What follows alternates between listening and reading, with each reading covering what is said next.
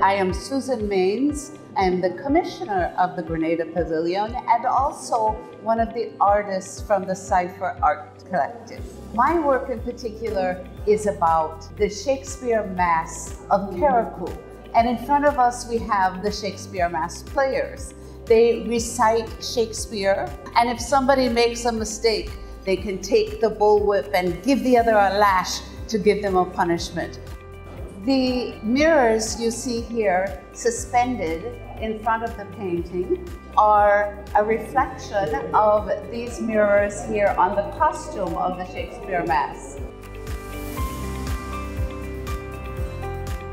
The idea was to use the Shakespeare Mass from Carriacou to explore all of these different avenues we can with art. So we wanted to take that and look at it on as an inspiration for how we talk about Grenada in general and how we represent Grenada and how different people can actually look at the same thing but come up with different ways of, of realizing their own culture and, and interacting with that.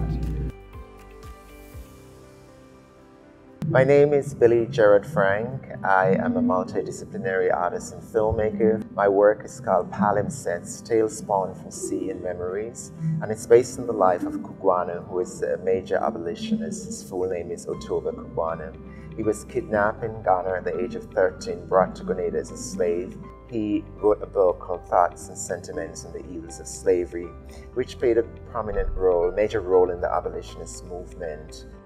They told me that he was um, a slave and that he was a very important figure in slavery relating to the Caribbean. I, they said I would fit the role of Cugoano. I was short, I had the um, persona, the energy to play him, and I really appreciate them believing in me.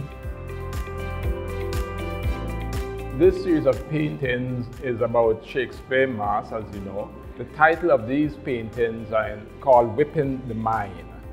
Looking at the whip in a much different way, looking at the importance of the whip in shaping the minds of people. And that in itself is not just in the mass, but we see this throughout Grenada society. Beautify the whip when it is actually used as a means of control. Myself and Ian Friday collaborated to produce this lovely piece of work here called A Syncretism in Carriacou. So my piece dealt with navigating the current scape as a Grenadian, as a Grenadian native, in having to compete with the global space that currently existed. I tried to write as if how Shakespeare would have written back in the time. Damned if I can just keep to my little corner, my little piece peace. A Grenadian kayaking tranquil seas. Shakespeare Mass, I say, is a spiritual practice. I say it's been sort of a survival mechanism. And in this time of the pandemic, we needed to sort of use both of those elements to make it through the pandemic.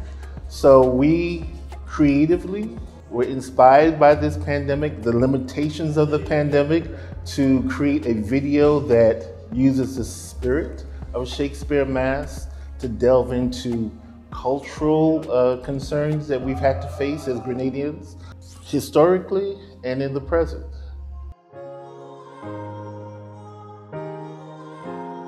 One of the themes that we're working with, aside from Shakespeare Mass itself, is this kind of poetic approach to understanding the interactions or relations between people and cultures. I am thinking about materiality. Um, I'm thinking about the fact that the objects in Carriacou and Grenada um, contribute to the identity of people in the space. So these objects that I've included in my installation, they would take up space in terms of memory without necessarily directly, literally explaining what Shakespeare Mass is. And so it's, a, it's an impression. It's um, trying to show the nature of how we construct meaning through the objects and environment, but also how we remember an event like this.